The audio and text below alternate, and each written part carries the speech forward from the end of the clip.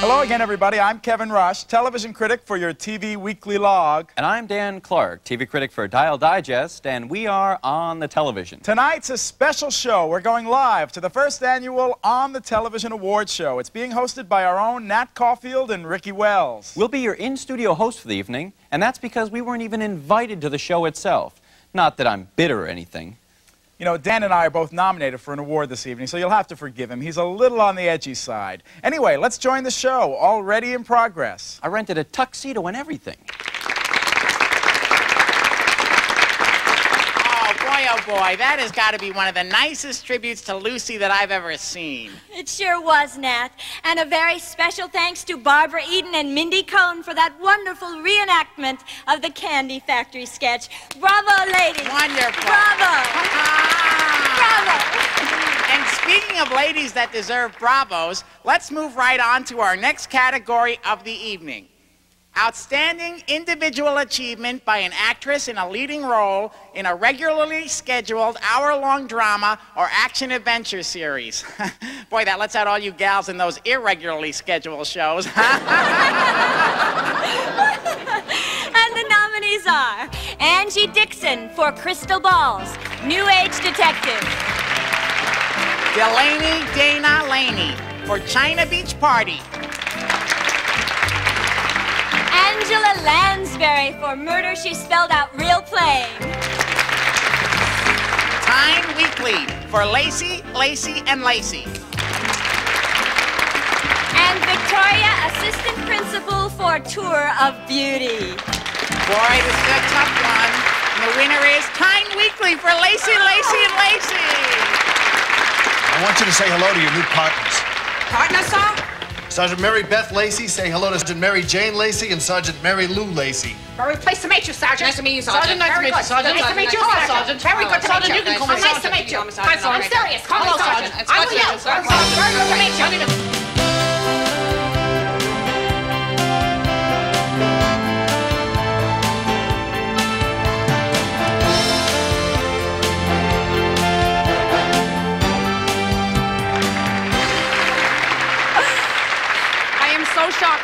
Of love you have given me. Mommy did it, kids. Now go to bed. but seriously, this antenna means so much to me. As you know, I am not on television right now because I'm singing and dancing up a storm on Broadway. But this is nice. This is nice. It means that you like my work.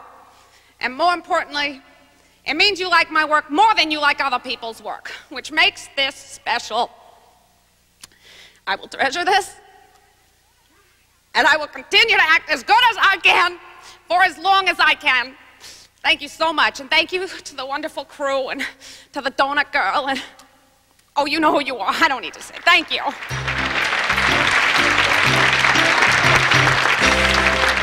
Boy, she's a good actress, but what is up with that eye makeup? Tonight, five TV theme songs have been honored with nominations, and throughout the evening, we'll take a look at all five of them. Our first nominee is the theme from the Not So Wonderful Years, words and music by George Etra and Willie McGrath, performed by Joe Cocky. would have happened to me without you? Would any more of my dreams have come true?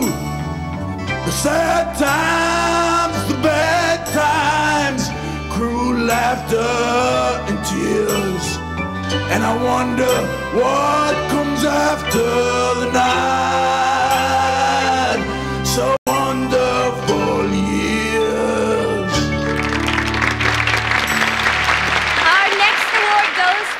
individual achievement by a non-actor in a leading role in a series, special, or series of specials. and the nominees are Imelda Marcos for Our Maid Imelda, Robin Screech, Screech and the Law. Lieutenant Colonel Oliver North for Golly Ollie, Barbara Bush for From Word, Shining Word. and Dan Quayle for Dan Quayle's Dance Party. And the winner is Lieutenant Colonel Oliver North for I told you no. But Lieutenant Colonel Daddy, I need a Corvette. How am I supposed to fight for freedom without a really cool set of wheels? Look, son, I don't mind getting you all the cash and guns you want. But I can't get you a Corvette until I get my daughter that kidney transplant she needs. I didn't want to have to do this, but you're forcing me to use the red phone. Hello? Get me the White House. They're getting me the White House. Hello, Mrs. Bush. It's Jorge Luis Adjudame North. May I speak to your son? He's not her son, he's her husband. Oh, you like me. You really like me. I and my family have been through so much. So much. This means almost as much to me as the enormous amount of money I'm paid for speaking, the publicity, the love of people. You know, when I decided to do a situation comedy, it was not out of personal gain, but rather out of a desire to bring laughter to the world as well as hate and fear, which makes the laughter all the more welcome.